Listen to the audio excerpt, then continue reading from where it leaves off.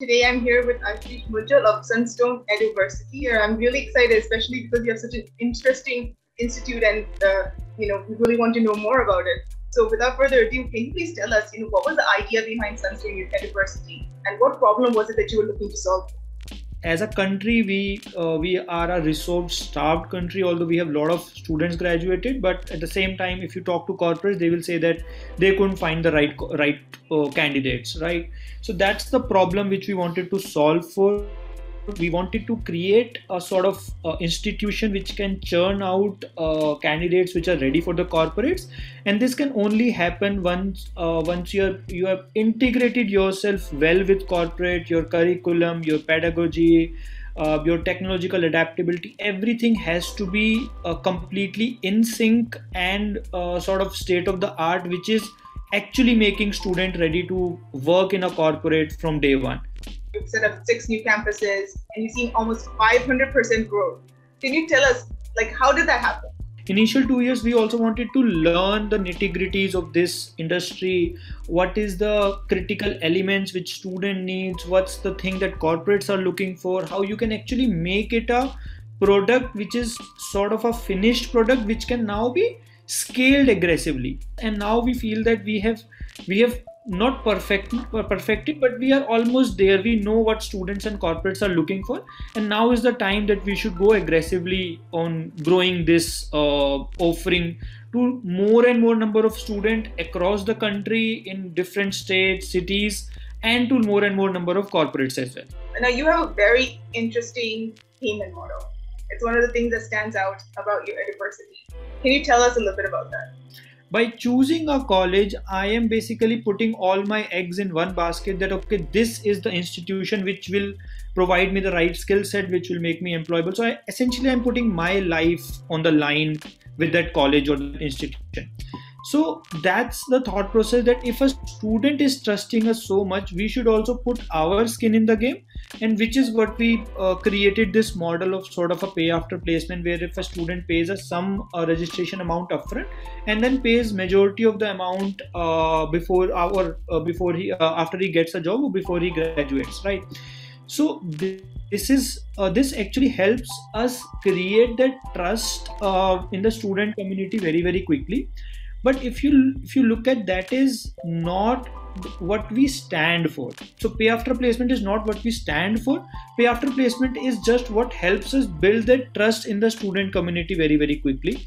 But we stand for a better education quality or better education outcomes. So that being said, you know, right now we are seeing so many new players in the education sector, and uh, a lot of people are offering courses, especially since you are a business management uh, uh, university, university, that's the term I'll use.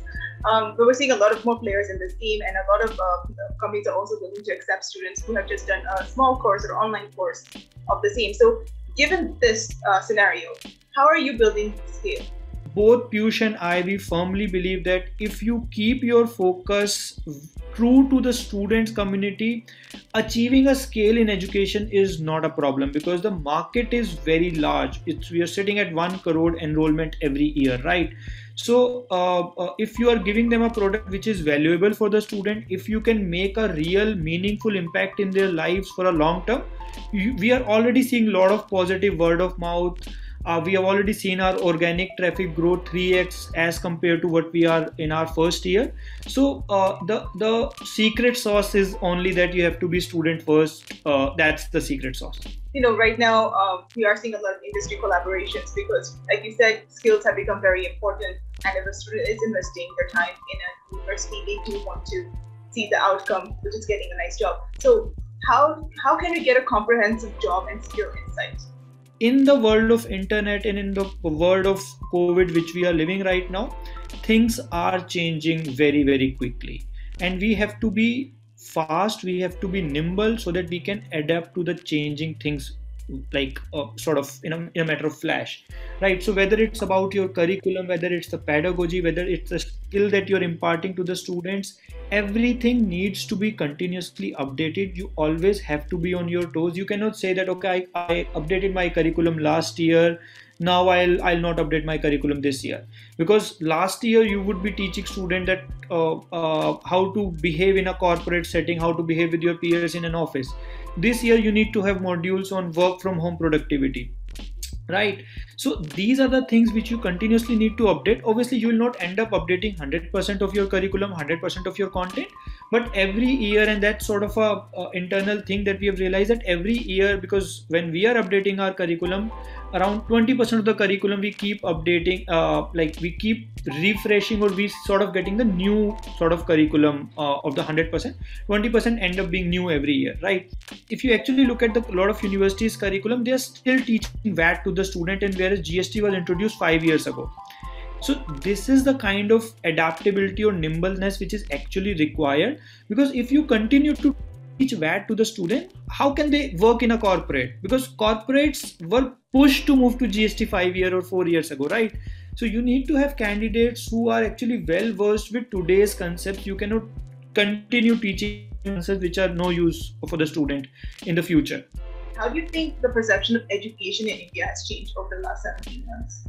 So there is a lot of learning that happens outside classroom as well.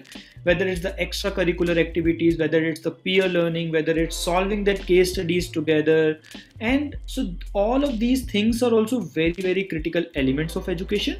Whereas in new way of teaching new pedagogy methodologies you also need to be very very adaptable to the online learning as well.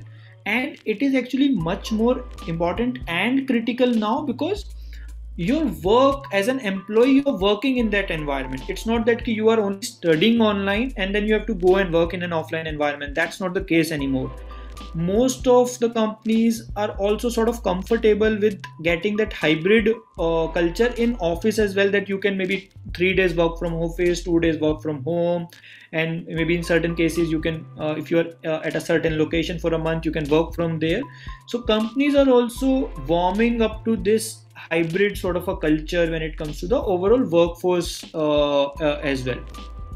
Yeah, no, definitely, and that's the positive that's come out of it because it's allowing so many more people to work. There are of course downsides to that, but we're not going to focus on that today. I do want to ask you, um, you know, we've seen the rise of edtech. We've seen over the last 17 months really like ex- explosion in edtech. What do you think the next step for edtech is? Do you think there's a third wave coming, like when we kind of post pandemic? when we kind of settle down because right now there's so much going on and not everyone is going to survive right so what do you ha- what do you think is going to happen? The way normal will get established and obviously there uh, we, none of us can predict the timeline of it. It can be 6 months down the line or it can be 12 months down the line. But once the dust settles down and we move back to more and more normal ways of living the way the new normal of education will be will be sort of a mix of online plus offline we will we don't see a huge huge demand of completely online courses. We don't see that uh, a full-fledged 100% online course taking over the offline or a full-time education market. But what we see is that education will evolve into a more hybrid sort of programs.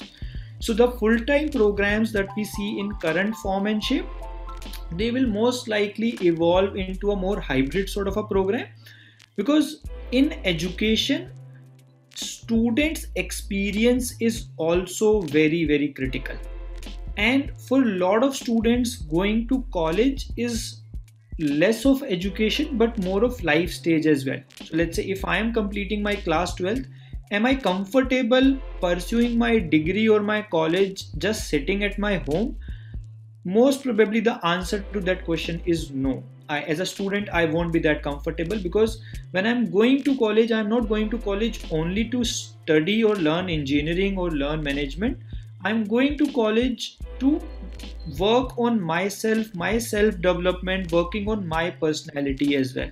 So if you ask me i would say maybe 40 50% uh, of education is uh, more academics whereas 50 to 60% education is more outside the classroom right wherein let's say if i am conducting some event i will take the responsibility of conducting that event and then i will drive everything right? So this gives me that responsibility this gives me that independence. Absolutely. So the institutions stay and the ed tech kind of just comes in to fill in the gaps. Um, for example, either it's helping the institutions to deliver the hybrid model or helping students who maybe cannot make it to campuses, people who are returning students, maybe older students, uh, maybe younger children who probably can't go to uh, go to classes. Uh, so it's basically there, like it'll find its place essentially. Um, is what, yeah, is yeah. what I'm assuming is what you're saying. Um, so I'd like to come down to my last question, which is, in your personal opinion, what would you like to see change or improve or happen in education from your own experience of going through the whole system?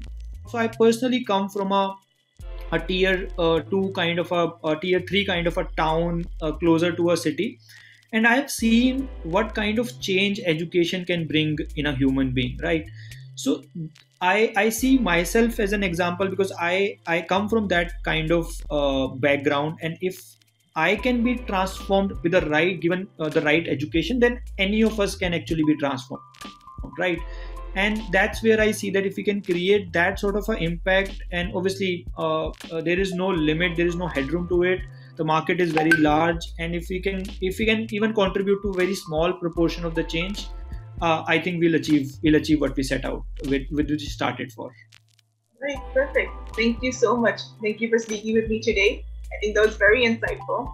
And I think what you're doing is great. It's an incredible um, setup, and it is helping a lot of people, especially those who can't necessarily afford to get a management degree and pay those kinds of fees up front.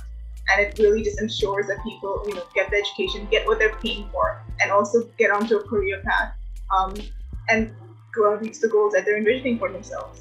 So thank you. Awesome. Thank you so much, Vasudha. It was a pleasure talking to you.